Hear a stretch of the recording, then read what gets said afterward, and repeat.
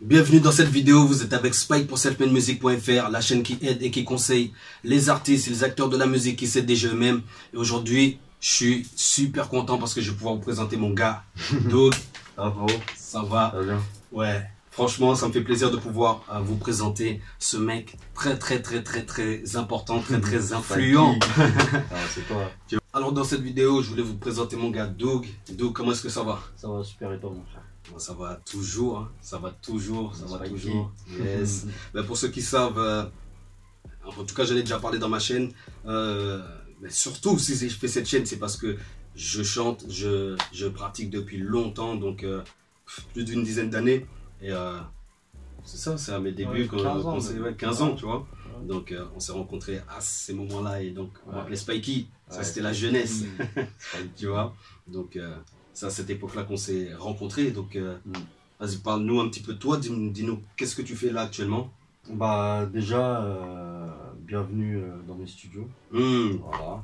Ouais. Euh, Aujourd'hui, je possède deux studios d'enregistrement. Je suis producteur, éditeur. Mhm.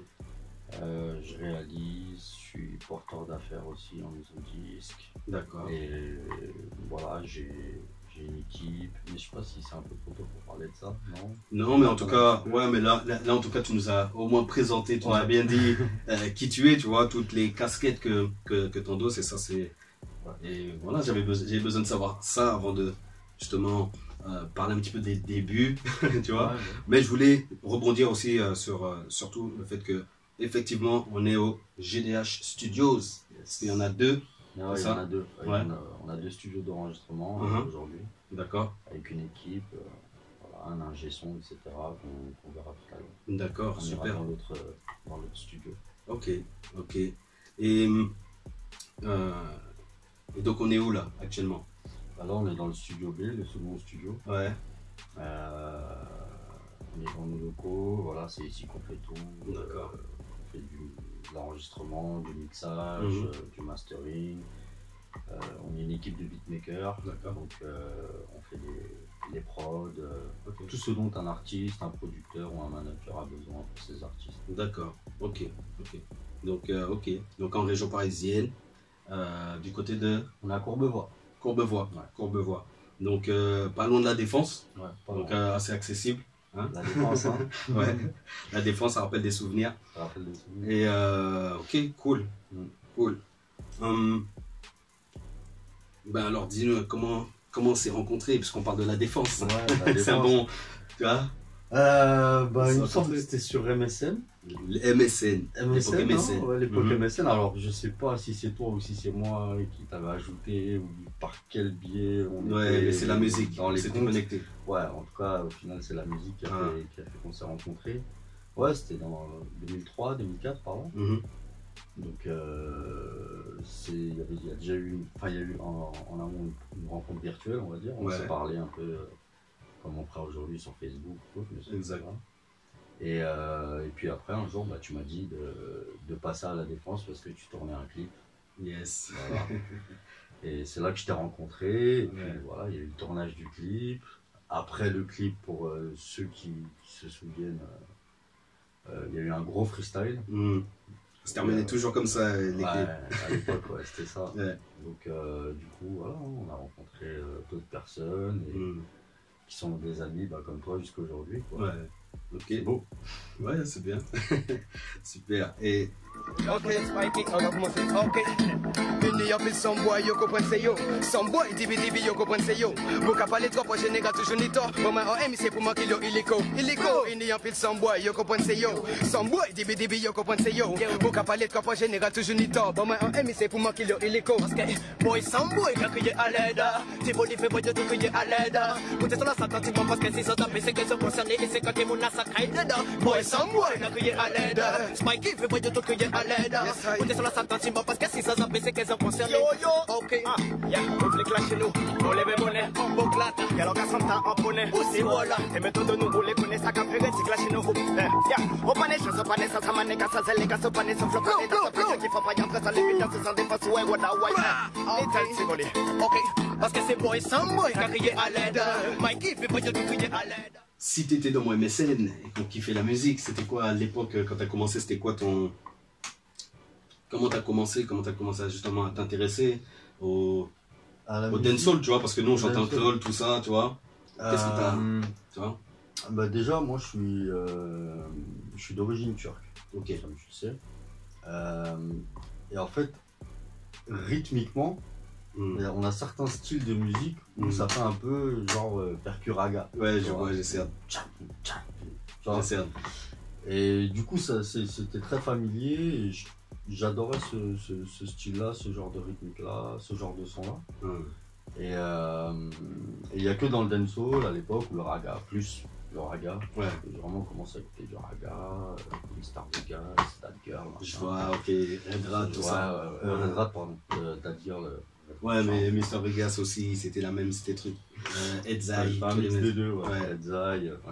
Donc euh, voilà, après, euh, mais vraiment, vraiment, le, le passage, ça a été. euh, parce qu'à la, à la base, moi, j'étais danseur. Et en fait, à l'époque, il n'y avait pas de, de, de DJ Hmm. euh, ou de mecs qui faisaient des remixes comme aujourd'hui. Aujourd'hui, euh, tu trouves des milliards de mecs sur, sur, D'accord, je vois. sur Insta, sur, sur Facebook, ou tu, trouves des, tu trouves des milliards de mecs qui te font des, des remixes des instrus. À l'époque, c'était pas ça du tout. Je vois, donc toi, c'est toi, t'avais le besoin de faire des remixes. J'avais bien. besoin de faire des remixes pour danser. Pour danser. Ah, ok. Voilà. Donc euh, au final j'ai commencé un peu à chercher sur internet et tout, c'était les débuts d'internet donc c'était ultra compliqué, Ouais. les forums, les trucs, machin, t'ajoutais des Eh, gens. en mode, euh, en mode self-made là. Ouais, c'est- là c'est. là, c'est- Et en parle, il en suit Ah encore. ouais, là c'est. c'est- c'est Ah ouais. Je sais. Ouais, ouais. Donc euh, ouais voilà, après j'ai cherché des tutos, des trucs, machin, j'ai rencontré des gens qui m'ont fait euh, Hmm. découvrir certains logiciels, etc. etc. D'accord. Et euh, c'est comme ça que je me suis mis à faire mes propres remixes, tout en continuant à danser. Puis après, à un moment donné, j'ai arrêté la danse. Ouais. Et ce qui me restait, c'était la musique. Yes. Ok, je vois. Et je sais pas, je kiffais bien le délire de DJ, tu vois. Ouais. euh, je trouvais ça bien. euh, J'avais un pote aussi qui mixait euh, dans le quartier. D'accord. Donc, euh, des fois, quand, quand on allait le voir, euh, Ouais. mixer ou quoi, tu vois, ça. ça C'est toujours bien d'avoir, t'as vu, c'est toujours bien d'avoir une connexion d'un mec C'est qui. ça. Un petit peu. un- un- c'était- il était plus âgé que toi, il avait plus de connaissances. Il était plus âgé avec moi, il avait plus de connaissances. Ouais, genre un mentor. Ouais, ok, plus de. Ok. Vrai, c'était vraiment euh, beaucoup, beaucoup de moyens. Aujourd'hui, tu peux faire un home studio avec rien. Hmm. Bon, après, il faut savoir s'en servir aussi. Mais voilà, Ouais, à l'époque, à c'était- l'époque, très compliqué. Avoir Ouais. des platines, c'était. Euh, Ouais. laisse tomber. Ouais, tu voyais des 3000 francs. C'est- 3000 francs, c'était chaud. En fait, je pense qu'il y a des adultes qui, peuvent, qui pouvaient se les payer parce Mm. qu'ils avaient les moyens, Ouais, parce qu'ils travaillaient. petits, nous. Mais nous, on était des petits. Ouais, ouais. Ouais, ouais. C'était compliqué, tu vois. Tu demandes à ton père une platine, ça vaut 800 euros. euh, Hmm. Va t'offrir un cadeau à 800 euros et encore, c'est une seule platine. En Ouais. deux, ça fait 1006. Ça fait 1006, euh, ouais, avec ça la table monte. de mixage, ça monte à 2000. Bien sûr, il faut des enceintes parce Ouais. que t'entends Enfin, je te le parle des prix de l'époque, hein. aujourd'hui c'est encore pire. hein. Les tables de mixage elles sont à 1007. euh. Ouais, non, non, je capte. Donc euh, voilà, j'ai suivi un petit peu ce, chemin. euh. D'accord. Ok, donc ça a été ça le déclencheur, ça a été en mode, euh, t'avais- tu kiffais déjà la musique, tu dansais Ouais, je, dessus. je, kiffais, je kiffais la musique, Mhm. je dansais dessus, Et- j'ai voulu faire mes remixes Voilà. euh, pour pouvoir danser dessus. Après j'ai arrêté la danse et puis j'ai- gardé le mix. Yes, mais c'est lourd parce que le mix il est arrivé dans un, dans un, un, un moment de débrouille. T'avais Ouais. besoin Bah, d'être créatif, tu vois ce que je veux dire, d'être créatif pour pouvoir faire ce que t'avais Bah, envie de en fait, euh, au début, ça se définit pas comme ça. C'est, Mhm. tu sais pas ce que tu vas faire. Ouais, Tu le fais juste parce que tu kiffes. En fait. exact.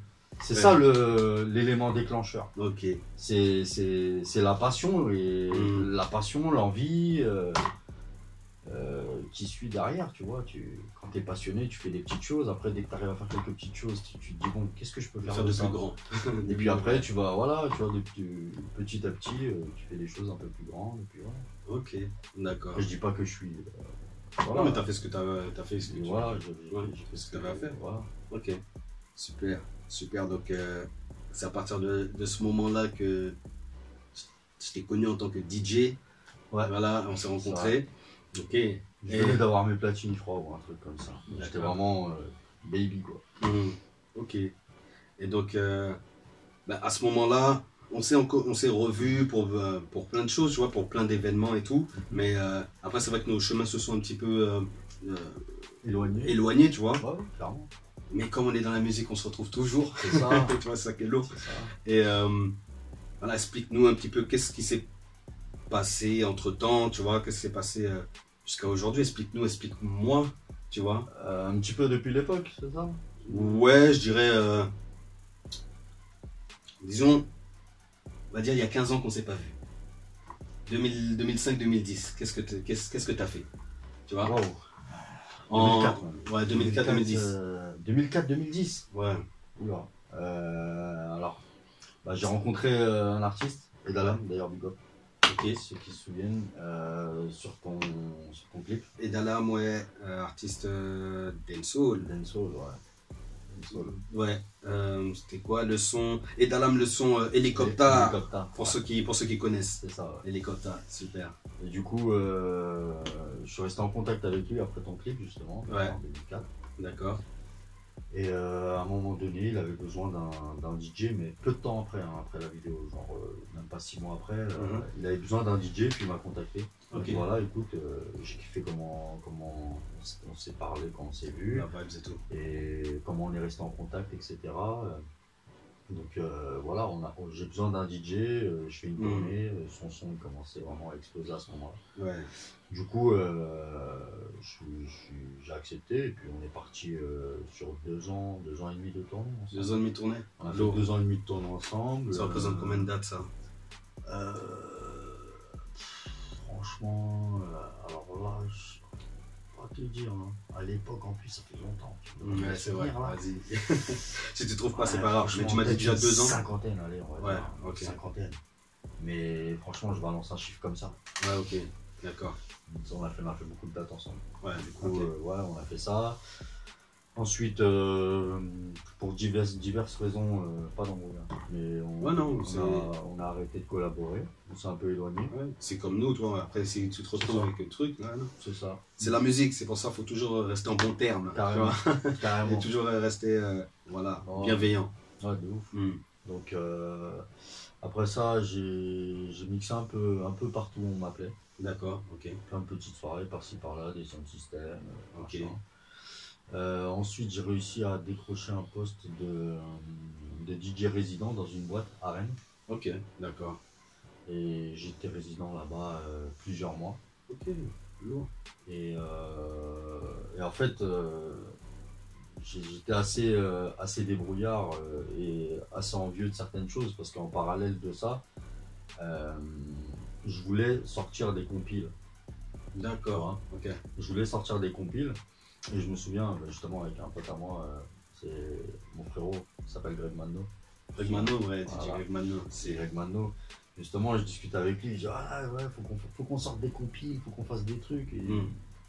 lui, en fait, c'est c'est- ça a toujours été ma bonne étoile à chaque fois, même jusqu'aujourd'hui. Quand je, quand je lui parle de trucs, il me sort, euh, il me dit ouais, mais ça. Et puis après, tu te dis mais non, enculé, tu vois, il m'a Ouais, tué dans mon délire. Ouais, Bah. C'était pareil, à l'époque, je voulais sortir des compiles. Mm. Et il m'a cassé dans mon délire, il m'a dit ouais, mais frère, euh, sortir une compile, il faut des instrus. Hmm. Je fais, bah, on prend une instru, on fait poser des gens dessus. Et il me dit, mais non, il y a des droits, il y a des trucs, je sais pas, j'ai entendu parler de droits et tout. Lui-même, il savait pas trop de quoi il parlait, tu vois. Et puis Mm. après, moi, je fais, du coup, je me renseigne. Et ouais, effectivement, tu peux pas prendre les instrus des gens comme ça et tout. Ouais, Donc, on exact. fait comment faut en faire, mon gars. Ouais. C'est lourd, hein, c'est lourd ça. Euh, no- Notez bien ça. Mm. Notez bien ça que. Voilà, tu peux. On fait pas n'importe quoi. Dans la Ah, musique, il y a des droits, il y a Ah des non, trucs. ouais. Donc euh, ouais, je- là, ça t'a permis d'a- d'apprendre justement, de prendre connaissance de ça et d'apprendre. Exactement, exactement. Et du coup, euh, bah, tu te renseignes, hein, qu'est-ce Mm. qu'il y a comme logiciel et tout, machin, pareil, toujours sur internet, galère et tout. Et du coup, euh, j'ai trouvé mon premier logiciel de composition, Reason. Ah, c'est le mien aussi. Ah. Merci. C'était à l'époque, moi. Ouais, mais c'est moi aussi. Même moi aussi. Mais Ouais, bah ouais, c'est- il, il était je, connais pas, facile je connaissais pas beaucoup des mecs de Reason. Ah. Reason, c'est. Ouais. Justement, je te sortirai une autre anecdote un peu plus tard. euh, Ok. parce que je pense que tu vas me poser deux, trois questions. Je, Ouais. je, les, je les vois venir, je, les- je garde ce truc-là pour après. Mais Ouais. ouais, voilà, donc du coup, euh, je me mets à faire des instrus sur, euh, sur Reason. Ok. Et euh, je fais écouter un peu. Mm. Je vois euh, à, des, à des potos, à des gens, un peu. Tout, des machin. Et à un moment donné, je me dis, bon, vas-y, je vais. Je vais, je vais commencer à essayer de faire poser des gens, tu vois, dessus Mm. et tout, machin. Mais avant ça, euh, je voulais quand même me former un petit peu, tu vois, faire deux, trois enregistrements, voir comment ça se passe et tout, machin. Apprendre un petit peu le truc. Donc déjà tout, tout seul, hein. t'as jamais, tu t'es pas dit, euh, je vais déléguer ou bien je vais Non. aller dans un studio pour le Non. vraiment en mode. Bah, en fait, c'est pas. euh, je, je vais me débrouiller. C'est euh, déjà d'une, il n'y a pas de moyens à ce euh, moment-là. ouais, Il n'y a pas d'argent. important, important. Il n'y a pas d'argent. Pas d'argent, comment on fait? Le peu d'argent qu'on a, Hein, c'est voilà, j'achète du matos et j'essaie de me débrouiller avec. hum, Ok, Donc euh, j'ai acheté un petit peu de matos, un micro, une carte son, machin. Je me suis débrouillé avec les soirées où j'allais mixer et tout. exact. Moi, c'est comme ça que je faisais. Quand je faisais les showcases à l'époque, c'est comme Bah, ça que j'ai monté mon studio au Bah, voilà. départ, tu vois. Donc, donc voilà, pour ceux qui demandent bon. comment on fait pour Voilà, monter son studio, qu'on n'a pas de moyens ou truc, Exactement, on se débrouille. On se débrouille. c'est ça. Ouais. Donc euh, voilà, après, euh, je commençais à enregistrer des gens, un petit D'accord. peu, euh, des gens avec qui je parlais sur MSN, un peu Ouais, réseau, tu vois, ouais. Et je les faisais venir à la maison, j'apprenais un peu comment les logiciels marchaient et tout, je posais des questions par-ci par-là. Et c'est comme ça que j'ai développé le truc, tout en parallèle en étant DJ, DJ. etc. Et puis, Et, et ça devait être lourd parce qu'en étant DJ, tu as, la culture musicale club. Donc ça veut dire Ouais. que tu, tu peux avoir un. tu peux avoir une. Enfin, tu as une vision que un simple spectateur ou bien même un artiste n'a pas. Tu vois, Carrément. et c'était un atout. C'est un mais, atout. mais grave, c'était ouais, un atout euh, clair. Parce que tu sais ce qui, ce qui fait bouger, ce qui fait pas bouger, ce qui plaît aux gens, ce qui plaît pas aux gens. Et puis, euh, et puis tu sais, euh, quand tu es DJ, euh, surtout en boîte, comme je t'ai dit, j'étais résident après, Ouais. euh, je devais jouer de tout. Donc comme Mm. tu dois jouer de tout, t'écoutes de tout. T'écoutes de tout, exact. Donc ça influence aussi ta façon de composer. Ouais. Forcément. Donc, donc voilà un petit peu euh, le parcours, parcours. jusqu'en 2008. Ouais, ça c'était en 2008. Ouais. Et comme je te disais, j'étais résident. Et comme je te disais tout à l'heure, je reviens à ce que je disais, j'étais débrouillard, assez débrouillard, assez. C'est très bien parce que ça me plaît, tu vois. C'est pour ça qu'on fait l'interview parce que c'est l'état d'esprit du. Ah de la chaîne, tu vois, c'est l'état d'esprit de la chaîne, C'est la débrouillardise. C'est hein. comme ça qu'on a, Ah ouais, bah qu'on a fait, qu'on a grandi, Ça, tu vois. C'est clair. Et c'est l'état d'esprit que je veux transmettre à la chaîne, tu vois. De... Il y a plein de gens, je sais qu'il y a plein de gens qui, qui, qui- qui regardent la chaîne, toi. Je sais qu'il y a des gens en Afrique, il y a des gens euh, aux Antilles, il y a des gens de partout en France et, et autres. Et il faut pas se laisser justement stopper par, euh, par le manque de moyens. Ah ouais, non. C'est mais- une autre source, la débrouillardise. Ouais, mais de, de toute façon, euh, ça, ça, je pense que c'est l'envie en fait. tout. Si tu as vraiment envie, Hum, tu vas trouver. tu vas trouver ton chemin. C'est comme l'eau ou l'air. Ouais. Tu vas rentrer. Ouais, par un moyen, tu vas rentrer. Si Mhm. tu as envie, vraiment, si ça vient de toi, si tu lâches l'affaire, c'est que c'était pas fait pour toi. Ouais. Moi, c'est comme ça que je vois le truc. Enfin, moi, je te vois là aujourd'hui, comment tu continues, tu fais ta chaîne, machin, tu écris des textes, tu, sors- tu continues à, sortir, à sortir des sons. Euh, c'est que tu as envie. Oui, Tu vois ce que je veux dire bien sûr. C'est- la base. Bien Tu vois Ouais. Et c'est pas euh, comme si tu étais millionnaire et que t'en avais Mm. rien à foutre et que tu faisais ça comme ça. C'est vraiment. C'est le trip, ouais. Donc, euh, donc ouais, ouais, carrément, c'est l'envie. Les, Mm. les- moyens, c'est c'est même pas un problème. Hum, Quand t'as l'envie, c'est même pas un problème, les moyens. ouais. Parce que. Tu sais, tu, C'est tu même une opportunité de Bah développer un, un- un nouveau truc, une nouvelle compétence. Mais carrément, parce que quand t'as l'envie, tu fais avec ce que t'as. Hum. Exact. Donc, euh, forcément, tu y arrives à un Tu moment donné. solution. Tu vas trouver une solution. Parce que t'as as un minimum, t'as ton cerveau, t'as tes mains. Hum, Donc, euh, tu peux y aller. Il n'y a, il y a, pas de- il y a pas de limite. À partir du moment où il y a l'envie, la passion et l'envie, ça te fait faire tout. C'est lourd. tout, tout, tout, tout. Et c'est ce qui m'a mené jusqu'à là où je suis aujourd'hui. Ouais. Et à grandir euh, encore et encore. C'est- l'envie, j'ai Mm. envie, j'ai la dalle. Avec tout ce que j'ai pu faire, euh, Ouais. j'ai la dalle. Euh, et, et encore, tu vois, euh, je dis tout ce que j'ai pu faire, mais c'est pas, euh, pas comme si c'était. euh, J'étais arrivé, ça y est, je peux me poser. Ouais. Euh, Tu, tu, faut- tu- tu sais reconnaître ce que tu as accompli, mais tu, tu sais ce que tu as encore envie d'a- Ouais, d'accomplir. Tu sais qu'il y a encore de la marche. C'est- Mm. c'est carrément ça. Ouais, c'est je carrément ça. C'est important. Ouais, C'est- c'est Donc, euh, Et 2010, ouais, alors à partir de 2010, qu'est-ce qui s'est. Ah, déjà, il y a entre 2008 et 2010. euh, ce que je t'ai pas dit, c'est que quand je Ouais. mixais en boîte, euh, ce qui s'est passé, c'est que mm, il y avait des showcases d'artistes qui étaient prévus à chaque fois dans cette boîte. Ok, bah et ouais. moi, je ramenais, des- je souvent des potes à moi mixer. J'en faisais croquer de Hmm. temps en temps. Et quand On faisait on faisait croquer. C'est important. C'est la base. Ah oui. Ouais. Euh, ouais, du coup, je faisais croquer à chaque fois et tout. Et Ouais. des fois, quand il y avait des artistes, bah, quand je, comme je venais, j'avais l'habitude de venir avec des potes qui mixaient, Mm. je les laissais mixer. Et moi, j'allais en loge, machin. J'essayais de, de me placer, tu vois. On fait des prods, on fait des trucs, on essaie de. Tu vois. Ouais. Donc, euh, du coup, bah, je rencontre euh, plusieurs artistes.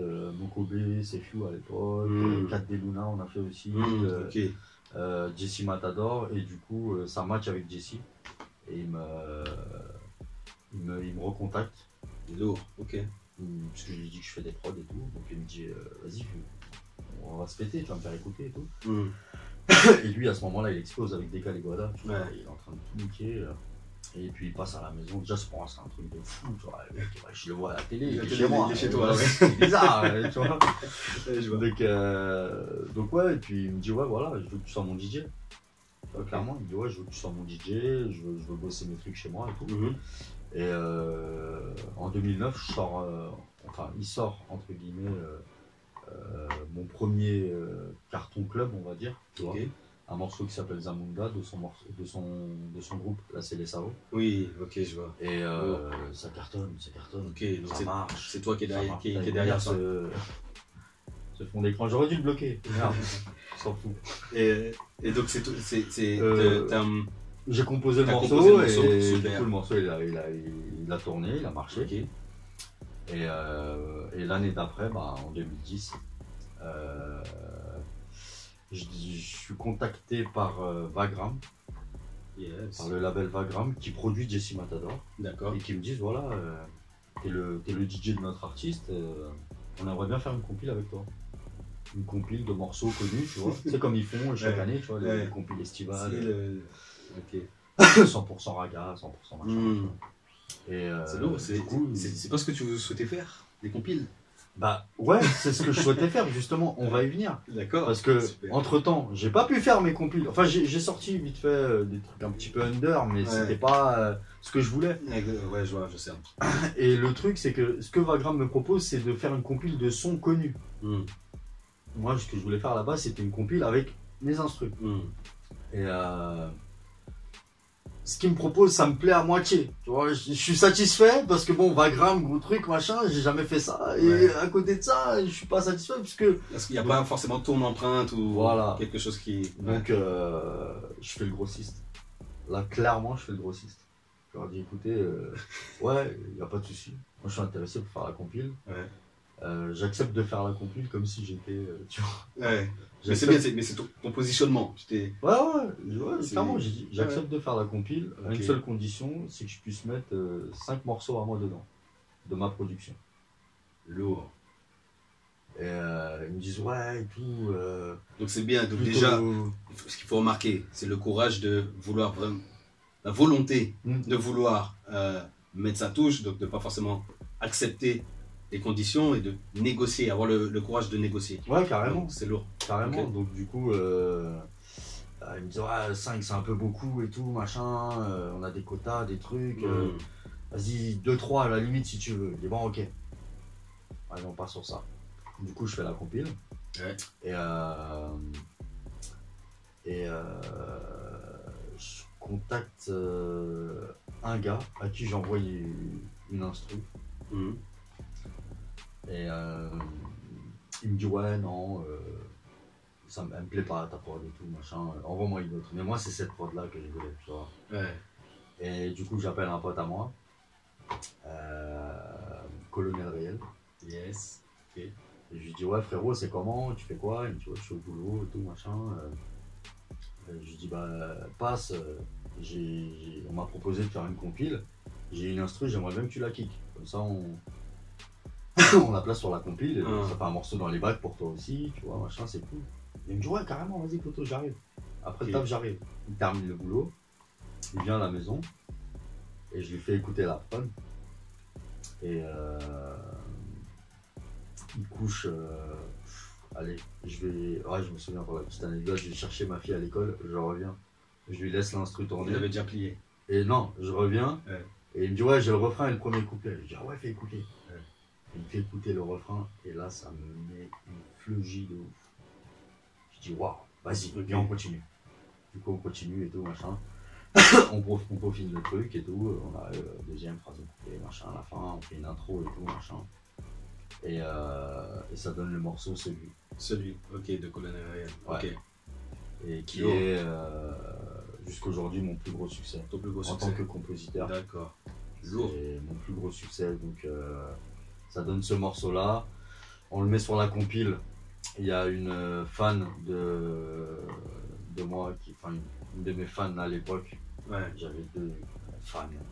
J'avais une trentaine de personnes qui me Ouais, ouais, messages, si, si, tu vois. ouais, si, je vois. Et elle la met sur. euh, elle, elle- elle- elle met la compile sur YouTube. Non, elle prend le morceau, pardon. Le morceau, celui de la compile, elle Ouais. le met sur YouTube. Mais YouTube, c'était pas YouTube de l'époque. C'est-à-dire qu'on s'en fout des vues. Il n'y a Hmm. pas de pub. Tu peux Oui, mettre une ouais. vidéo. Il n'y avait euh, pas de stratégie, il n'y avait pas de stratégie derrière ça. Elle l'a mis. Elle l'a mis comme voilà. ça. Ouais, ok. Euh, et nous, on découvre ça. Bon, pff, tu sais, euh, on découvre, mais on s'en fout. Hmm. Et on voit les vues monter. on voit les vues qui montent. Ouais. Allô frérot, t'as vu, c'est 50 000 quand même. C'est- je, crois, je crois que c'est beaucoup, je crois, non, je sais pas, j'arrive Ouais. pas à savoir. Tu sais, à l'époque, on n'arrivait pas n'y à avait pas encore, vraiment. ouais, il y avait pas encore toutes ces. Tu sais, après, on, euh, tu sais, C'est je lui ai repère. envoyé une autre vidéo, j'ai dit, ouais, mais regarde, sur ce son-là, et- Hmm. qui a grave tourné, il y a tant de vues, ça veut dire Ouais. 50 000 vues, c'est beaucoup quand C'est même. pas mal, euh, ouais, je vois. ça co- tu sais, en fait, on, tu on te savait rappelles du pas. son Tu te rappelles du son que Ah, je vous compariez. Non, ok, je me d'accord. souviens plus du tout. Ouais, mais je vois, je sais dans quelle. euh, Mais La on, voilà, confusion. on sait pas trop, tu vois, on cherche Hmm. des repères, on Voilà, cherche d'autres ouais. morceaux, on regarde, tu vois, on est, on est vraiment, c'était vraiment au début, où- au début de YouTube, quoi. hmm. Enfin, pas au début de YouTube, mais. euh, Mais C'était pas encore comme développé comme aujourd'hui avec euh, Voilà. cette, euh, voilà, le, compteur et c'était pas encore dans l'état d'esprit des gens d'aller voir le nombre de vues. C'était pas, Exactement. c'était pas un, comment dire, un gage de qualité ou un gage de, tu vois, de- Exactement, Je exactement. captais, je captais. Du coup, euh, les vues montent. Hmm. Et, euh, et un jour, je suis, euh, je suis dans, dans, dans, dans mon, dans mon centre commercial à côté de chez moi. Ouais. Et euh, je suis en train de faire la queue au chinois. Il y a la radio dans le centre commercial. Ouais. Et j'entends le morceau. Wow, c'est trop ça. Je suis là comme ça, je fais la queue, j'entends le morceau que j'ai composé. Lourd. J'appelle le poteau direct. Ouais, frérot, je suis dans le centre commercial. ouais.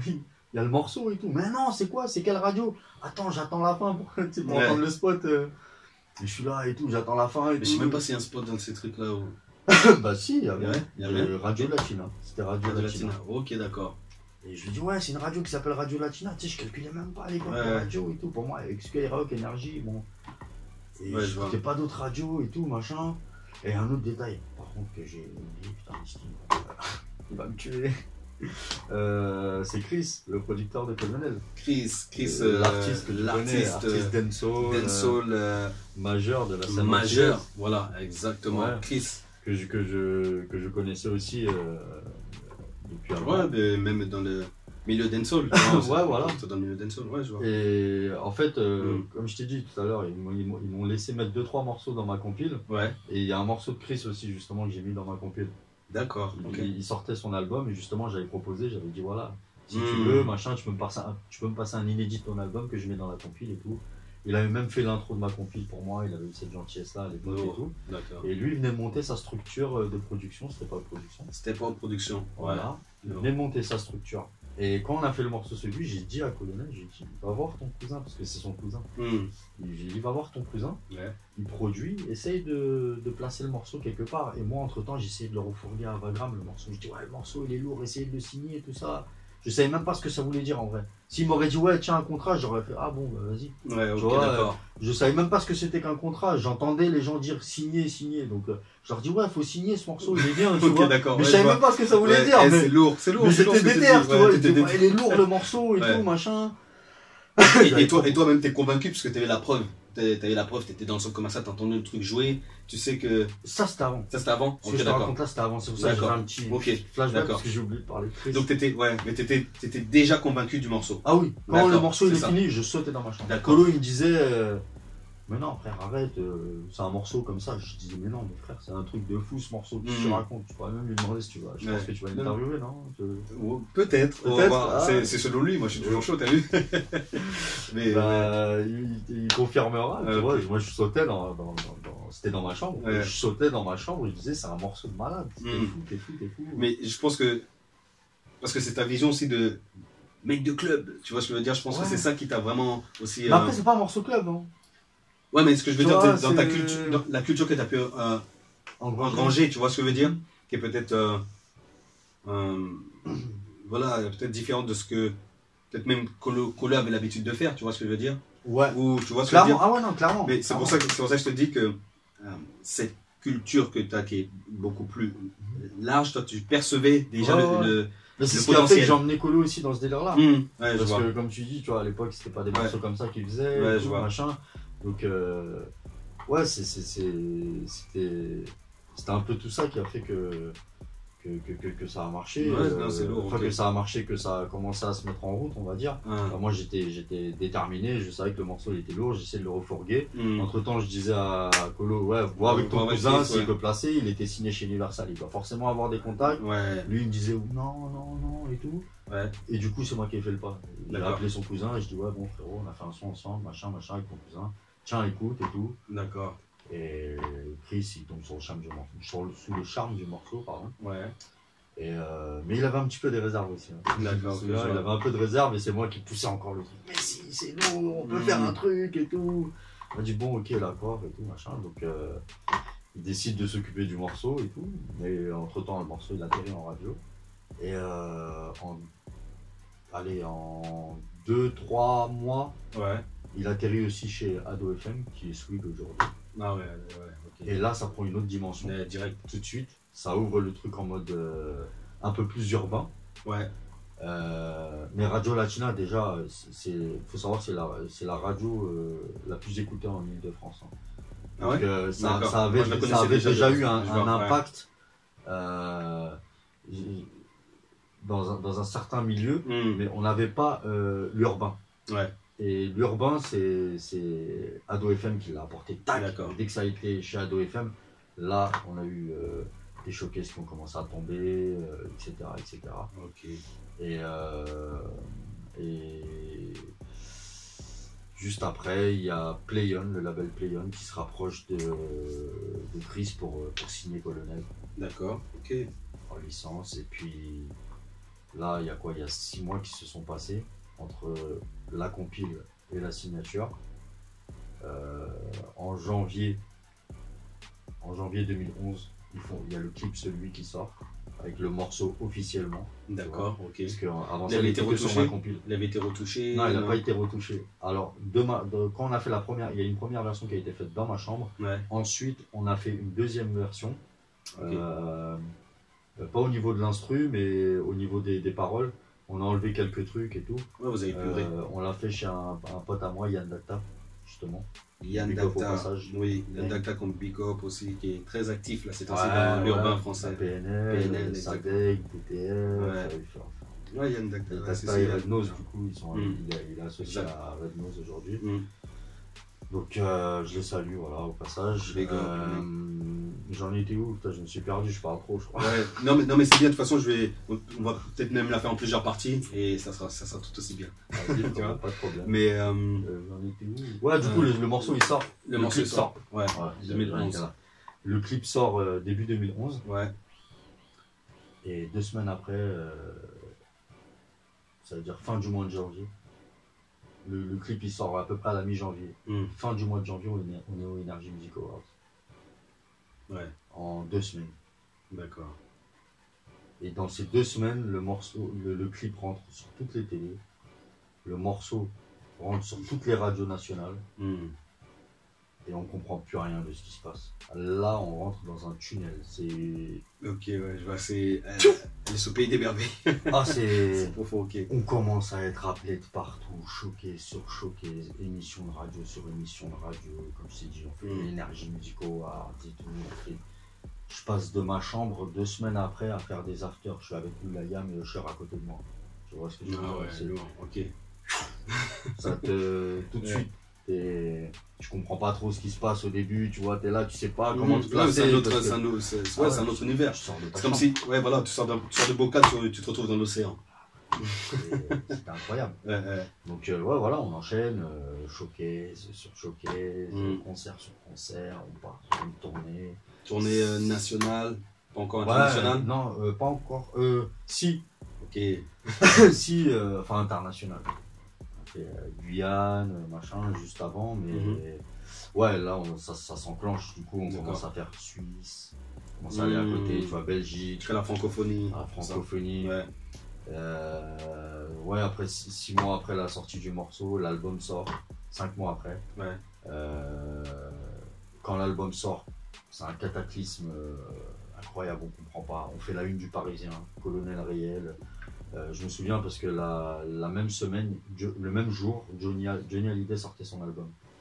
Ok. Et, Et- et une semaine après, score Ouais. euh, je crois que t'as le Parisien qui titre Colonel réel, l'artiste qui vend plus que Johnny. Ah ouais. Ça nous dépasse en fait, on comprend pas ce qui se passe. C'est, euh, c'est aujourd'hui que je comprends avec du recul et Mm. un peu plus d'expérience. Mais sur le coup, je comprends pas, tu sais même pas, tu vois. Tu, tu Ouais. vas, c'est tout. Tu en fait, tu vas là où on t'appelle, quoi. Ouais. Tu dis, waouh, waouh, waouh. Et d'expérience en expérience, tu, je comprends pas, en fait. Hmm. Je comprends pas, tu kiffes juste. Ouais, Après ça, il y a eu un Olympia, je fais la première partie, donc je vois mon nom écrit en grand DJ Doug à l'Olympia, tout ça. tu vois, j'entendais mon père, ma mère parler, tu vois, Edith Piaf, Olympia, tu sais, Ouais, ouais, c'est une salle mythique. Ouais, une salle mythique. jamais de la vie je me serais dit il y aura mon nom écrit dessus tu vois Ouais, euh, Exact. du coup euh, euh, ouais. Non, mais j'ai, ouais, ouais, je capte. du coup ouais on fait Olympia première partie donc je je fais je fais venir toute la famille et tout machin Bien C'est- sûr. c'est voilà tu Bien sûr, tu fais profiter tout, tout le monde, bien sûr, Ah ouais, ce carrément. succès-là, ouais. carrément Un lourd. Lourd. donc euh, donc voilà hein. après euh, euh, jusqu'en 2019 on a dit hein. Ouais. jusqu'aujourd'hui. Donc, euh, alors le succès, il a duré, on va dire, 2-3 ans. D'accord. Plein. Euh, moi, ce qui m'est arrivé, et c'est une expérience justement, c'est un truc que tu sais pas toi non plus. C'est- c'est- Oh, il y a plein de choses, il y a plein de choses que je suis là, euh, je découvre avec vous. Je sais, il y a plein de choses, mais ce truc-là, parce que euh, ça, ça, ça répond à une question que beaucoup de gens me posent. D'ailleurs, euh, ceux qui verront cette interview-là, Mm. ils auront un peu leur réponse. Parce qu'on me, demande, on me demande beaucoup, mais pourquoi, quand ça a explosé avec Colonel, t'as pas enchaîné? Pourquoi t'as pas fait des choses? Comment ça se fait que t'as pas, euh, t'as pas sorti d'autres titres ou placé d'autres titres? D'accord, ok. on me demande souvent ça, tu vois. Qu'est-ce qui s'est, qu'est-ce qui s'est passé, tu vois? Et en fait, le truc, c'est que avant de faire le morceau avec Colonel, Mhm. à l'époque où j'étais avec JC Matador, Ouais. j'ai signé un contrat avec un éditeur. Ah, Et en fait, le truc, c'est que cet éditeur-là n'a pas fait son boulot. Hmm. et son boulot était Son de quoi boulot, En tant qu'éditeur, ça pourrait éduquer en même temps les. les- les- les- Bah, le, bou- le boulot d'éditeur, qu'est-ce, que- qu'est-ce que c'est? Ouais, quel était son, son rôle, ouais. bah, Son rôle, en fait, euh, euh, soit il me, il me plaçait, ça veut dire qu'il devait me trouver des artistes. Ok. à Donc qui il je pouvais avait placer tes instrus. mes- ouais, prod. Ok, d'accord. mes prods. Euh, il devait faire en sorte que mes, que mes morceaux soient diffusés. Mhm. Il, devait, il devait faire son boulot d'éditeur, tu vois. Si. Euh, éventuellement il y avait des partitions à éditer pour que les gens puissent rejouer mes compositions, etc. D'accord. Il devait faire tout ça. Son boulot d'éditeur, tout simplement. Et puis surtout rédiger tous les contrats, s'occuper de tout pour moi. Voilà, donc c'est ça le, le taf de l'éditeur. Ouais. En, en résumé, Ouais, en, en résumé. en compressé. Mais En compressé, en tout cas, ça va. Ouais, ça va, Mais- ça va aider les gens à comprendre. Ça va. Et du coup, euh, moi quand j'ai signé avec lui, je m'attendais à un certain résultat et il me donnait plus de nouvelles. D'accord. Donc naturellement, moi, je, je fais ma vie. Hmm. Et après, je fais colonel. Et Ouais. quand je fais colonel, il vient me voir, il me dit hey, Coco, on a un contrat ensemble. Hmm. Comment ça, on a un contrat ensemble? Tu, tu me donnes plus de nouvelles, tu m'appelles plus. Ouais, mais on a quand même Ouais, il y a un un contrat papier. ensemble. Il y a un papier. Donc là, euh, Ah, je suis pas d'accord. Je suis pas d'accord. Et euh, coup, euh, avec le succès de colonel, je commence à toucher un petit peu d'argent. Donc les moyens de me payer des avocats. Donc je prends, euh, je prends un avocat et puis je l'attaque pour casser le contrat. Ouais. Sauf que le procès, il a duré 4 ans. Et quand le procès dure, tu dois raquer? Ouais, j'ai raqué, mais après, euh, J'ai réussi, à, réussi gérer avec mon avocat et on Mm. a réussi à récupérer en dommages et intérêts, donc ce qui fait que ça va, je m'en sors pas trop mal euh, au niveau des dépenses. Hmm. Si j'ai dépensé, j'ai perdu. Mais... Hmm. Et au final, j'ai gagné le procès. J'ai gagné le procès en 2015. Donc ce qui fait que Colonel, ça a explosé en 2011, mais jusqu'en 2015, j'étais bloqué encore Oui. par un contrat. Et euh, du coup, quand tu es bloqué par un contrat, tu es obligé de bosser avec la personne de gré de force. Hmm. Mais moi, je pouvais pas. Je suis désolé, c'est, je pouvais pas faire. Ouais, t'avais plus le feeling, tu pouvais, tu pouvais pas faire Voilà. du tout. Tu pouvais, tu pouvais pas faire du tout. Ouais. Tu pouvais pas faire semblant. Et Je le vois. pire dans tout ça, c'est que j'avais euh, les plus gros artistes de France qui me disaient c'est quand on se retrouve en studio, Ouais. c'est quand que tu me fais une compo? Hmm. Et t'es là, je peux Ok. rien faire. Ouais. Ok. Combien de temps? Euh, bah, 5 ans au total. Hein. D'accord, la signature, la, la signature, la, en 2009, la Ouais. signature. Parce que 2014, ouais, Jusqu'à. euh, En fait, le contrat, il était jusqu'en 2014, mais le procès s'est fini en 2015. D'accord. Après la fin du contrat, le procès s'est fini. Ouais, ok, d'accord. Ouais. Ah, mais je pense que même quand toi, toi tu t'as, engagé la procédure, tu pensais pas que ça, ça va durer aussi longtemps. Euh, En fait, je, je savais qu'il y avait un risque, puisque mon avocate m'avait Ouais. prévenu, Ouais.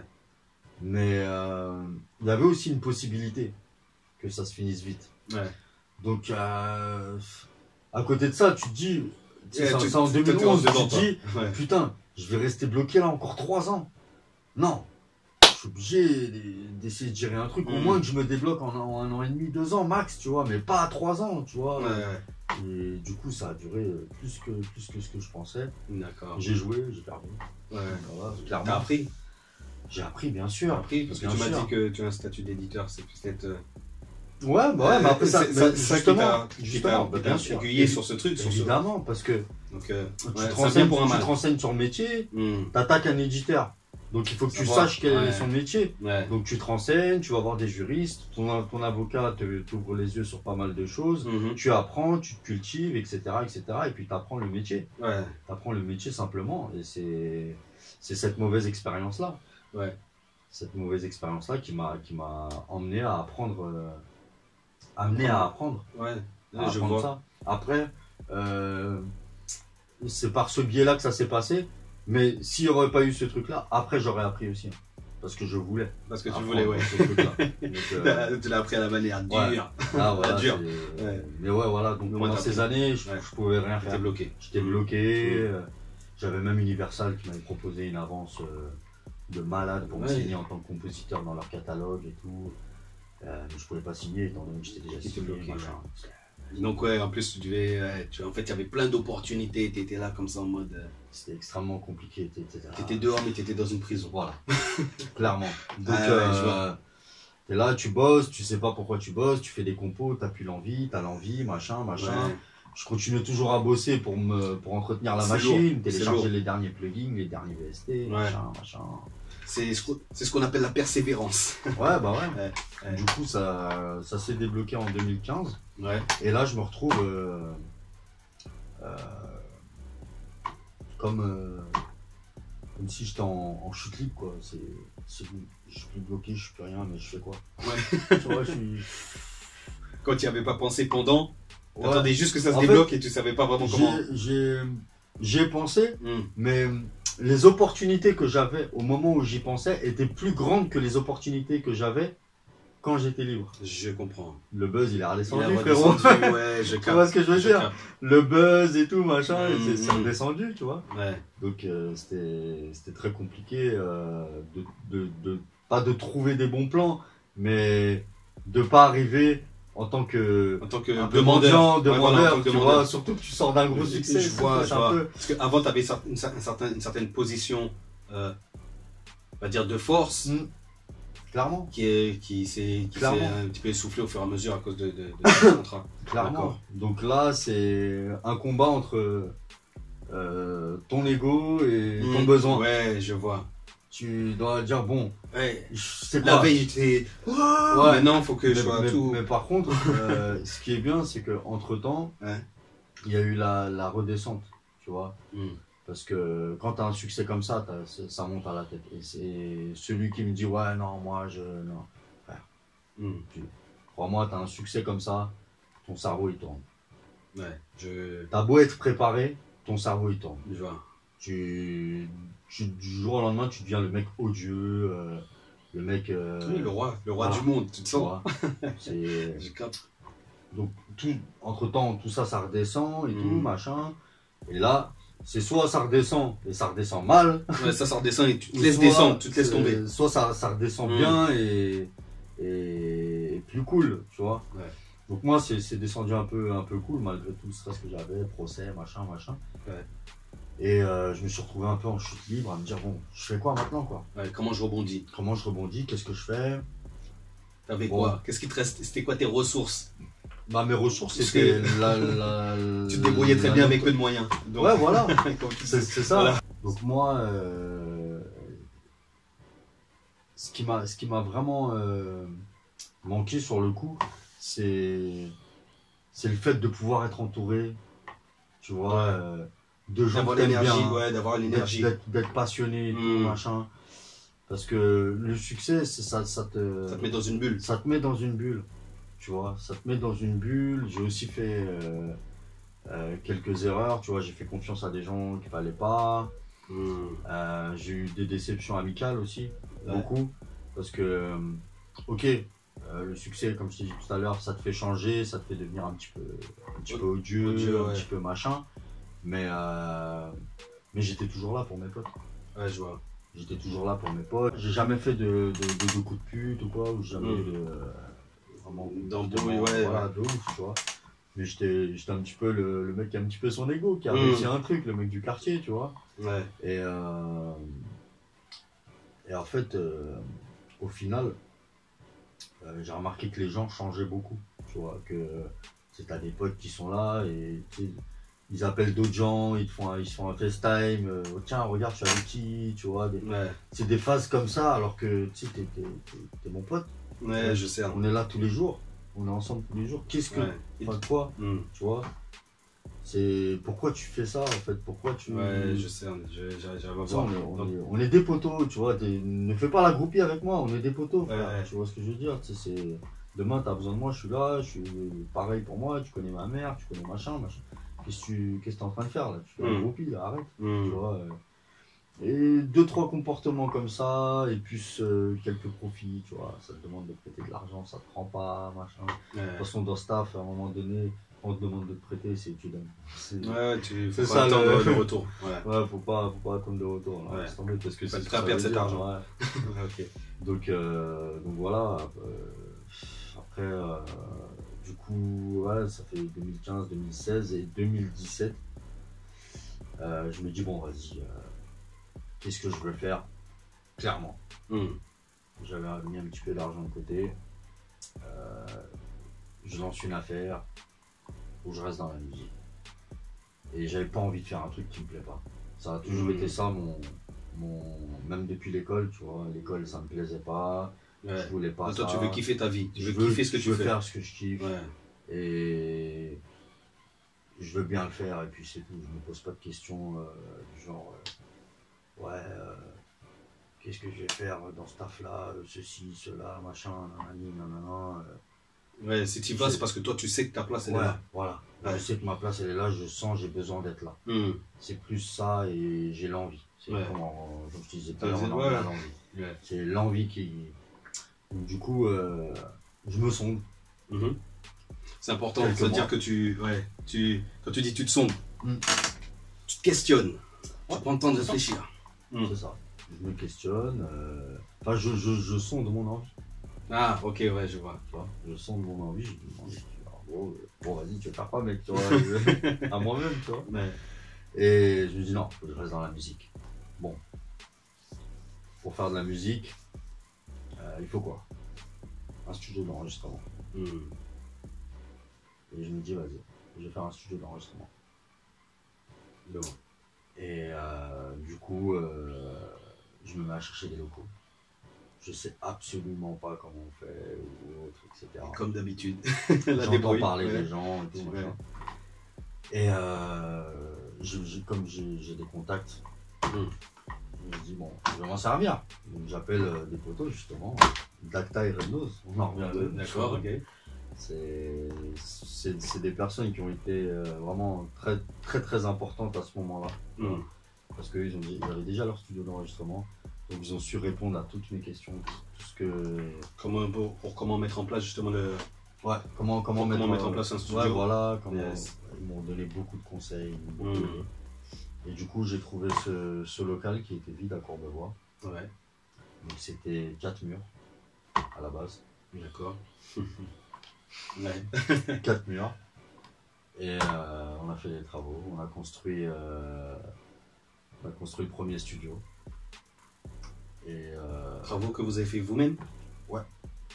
Nous-mêmes. Enfin, j'ai pris un, j'ai pris un, j'ai pris deux ouvriers, D'accord. mais on était là. Ah, ouais, c'est genre. Faut un mettre la main, ouais. truc, allez, tu vois. Ok, à la. On a mis la main à la pâte. On a mis la, à la main à la pâte, j'avais jamais fait ça de toute ma vie. J'ai appris à le faire. Il était Là aujourd'hui, je te construis les murs. Hein, frère. Il n'y a pas de problème. hein, Ok. Et, euh, et du coup, euh, on, a fait, on a fait les travaux, ça a duré à peu près deux mois. Et on a ouvert en septembre, euh, septembre 2017. Septembre 2017. Ouais. Ok. Septembre 2017, on a ouvert. Ouais, ça fait deux ans. Ok. Du coup, bah, j'appelle tous les amis de la musique. Hein. Ouais. Venez les frérots, il y a un Mm. studio.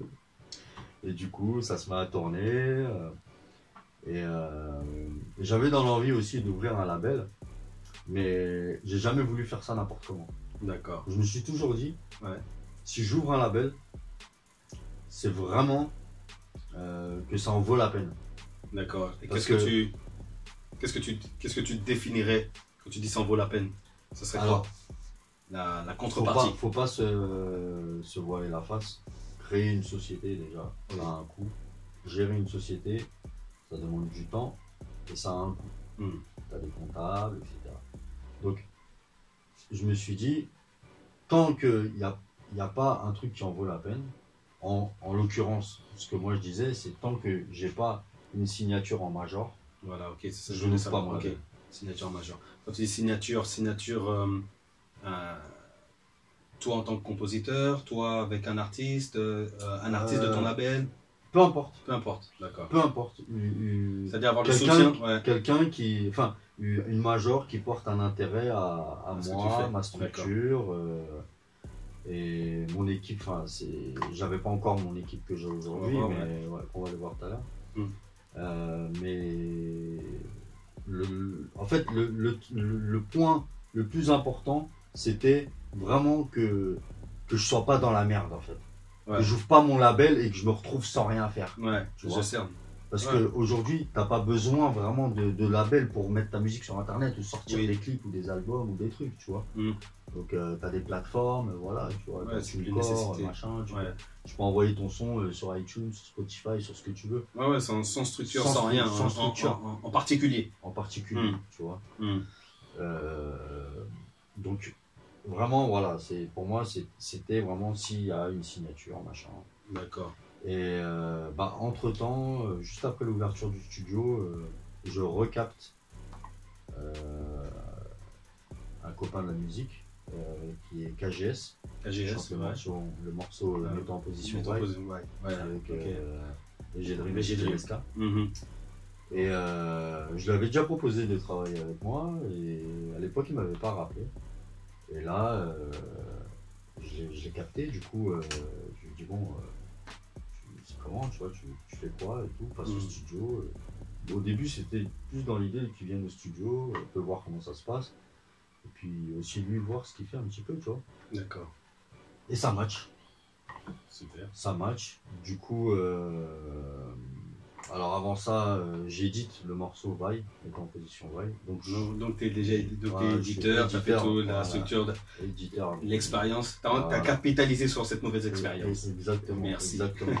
Ouais. J'ouvre la, j'ouvre euh, la société. Mhm. Euh, entre temps, j'édite le morceau et tout. Donc, euh, euh, juste avant d'ouvrir la société, j'ai des contacts chez Universal qui me montrent qu'ils ont un intérêt. Super, je vois. Donc, en même temps, j'ouvre la société, Mm. etc. C'est ça vraiment que ton truc, c'est vraiment d'av- d'avoir cet, cet intérêt ou cet appui pour savoir que tu peux te Ouais. lancer bien Voilà. correctement. Tu vois. C'est Après, moi, c'est ce que j'ai fait, mais c'est pas forcément ce qui- va marcher pour tout le monde. Oui, c'est ta formule, c'est- Voilà. Euh, bien de préciser ça parce que c'est voilà, ton chemin, c'est ton, ton business model. Tu vois, c'est comme ça que tu as, choisi de, gérer, de, de- de faire ton business. Mais En tout cas, c'est comme ça que ça m'est arrivé. Ouais. Ouais, c'est comme, ok. ça que- c'est comme ça que ça m'est venu et c'est les choix que j'ai fait. Ouais, ok. Donc, euh, bah, comme on- je te disais juste avant, il commence à montrer de l'intérêt pour KGS, donc Yes. il enclenche l'ouverture de la structure. Yes. entre temps, il me propose un contrat de, de- de signature. Euh, on signe. euh, Signature euh, artiste Ouais, Ok. signature, euh, signature artiste. Et euh, du coup, on signe euh, en licence KGS chez Universal. D'accord. Entre temps, le morceau va, il fait disque d'or. Ouais.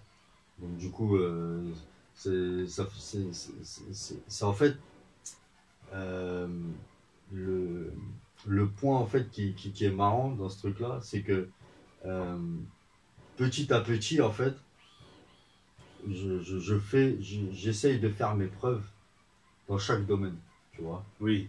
Et Quand... tu, quand tu reprends un petit peu toute mon histoire, tu vois, j'ai danseur, DJ, Mmh, J'enregistre, ouais, donc un son, après DJ résident, après tu te places en tant que compositeur, Mmh. tu, tu réussis à faire un grand morceau, euh, enfin un grand morceau, euh, un morceau qui fonctionne Qui fonctionne ouais, à euh, grande échelle. à grande échelle, Ouais. euh, en tant que compositeur. Ouais. Et là, je fais mon premier disque d'or en tant qu'éditeur. Donc euh, c'est un autre cap encore, tu vois. Mmh.